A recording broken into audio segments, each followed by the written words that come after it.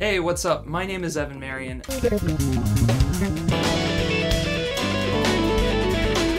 And I've been using a light gauge custom set of Super Steels from GHS Strings for years now. And this specific light gauge set is a big reason why I'm able to achieve a wide range of tones, from lead style sounds, deep bass tones, and chordal clarity. I believe that I'm able to draw a bigger and more dynamic sound out of my instrument by playing with a lighter touch.